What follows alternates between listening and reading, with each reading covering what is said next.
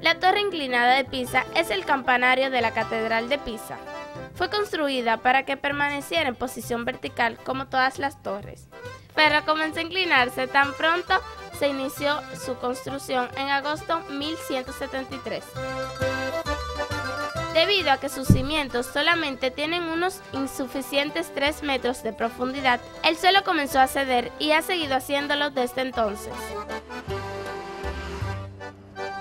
El proceso de su total construcción hasta sus actuales 56 metros de altura abarca más de dos siglos, en los que se tomaron medidas para corregir la inclinación, con diferentes éxitos y evitar su derrumbamiento.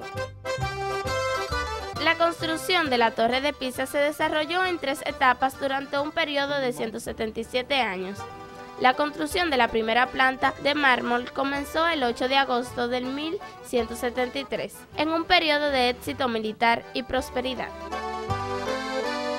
La primera planta está rodeada de pilares con capiteles clásicos y arcos ciegos.